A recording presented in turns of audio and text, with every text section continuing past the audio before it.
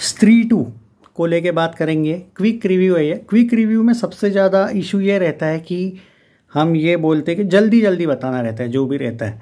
But मैं आपको यही बताने वाला हूँ कि मैंने पाँच में से पाँच रेटिंग इस फ़िल्म को क्यों दी है। क्विक रिव्यू के बारे में अगर मैं बात करूँ, सबसे पहले तो भाई इसका म्यूज़िक।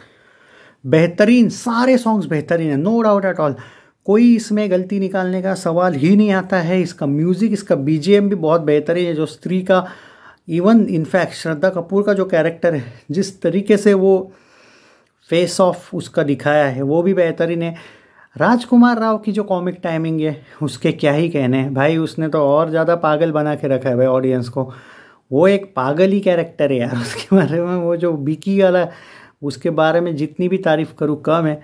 बाकी ओवरऑल अगर परफॉर्मेंसेस की बात करूँ, सबका बेहतरीन है।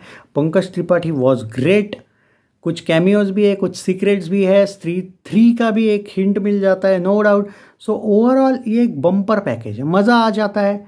If you can't compare part one with part two there is no comparison क्योंकि वो बनी, इसीलिए वो एक यूनिवर्स बना और उसके बाद ये पार्ट टू आया. तो यहाँ पे वो कंपैरिजन नहीं होगी हाँ हम कंपैरिजन एक दस दिन बाद एक वीडियो लाएँगे, जिसमें थोड़ा स्पॉयलर्स की भी बात होगी. दस नहीं यार, पंद्रह बीस दिन होने दो ज़रा। फ़िल्म बहुत तगड़ा चल रही है भाई। थिएटर में जो एक्सपीरियंस मिलता है ना भाई, वो चिल्लम चिल्लाए भी थोड़ा बहुत, जो मज़ा आता है ना भाई, वो अलग ही है।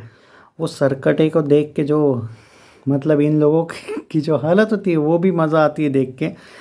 ये देखो भाई, एक बहुत ही कॉमेडी और अच्छी जर्नी है ये। इनकी कॉमेडी जर्नी ही बोल दूँगा मैं। हॉरर कॉमेडी है नो डाउट बट डराने से ज़्यादा भाई हंसाने में कामयाब होती है फ़िल्म और लोगों को और क्या चाहिए?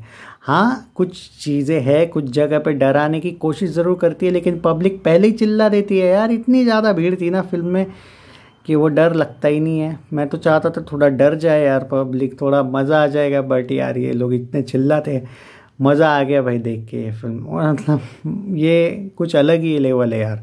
बहुत से ऐसे सीक्रेट्स है, मैं क्विक रिव्यू दे रहा हूँ, इसलिए ज़्यादा कुछ अभी बात नहीं कर रहे हम। बट वो जो मेन रिव्यू वो देख लेना, वहाँ पे आपको अंदाज़ा आ जाएगा फाइव आउट ऑफ़ फाइव देना भी मज़ाक नहीं है भाई। वो सच में वो डिज़र्व करती है वो फ़िल्म मतलब मेरे लिए तो भाई फुल एंटरटेनमेंट था। वीडियो को शेयर कीजिए अगर आपने ये फ़िल्म देखी है तो।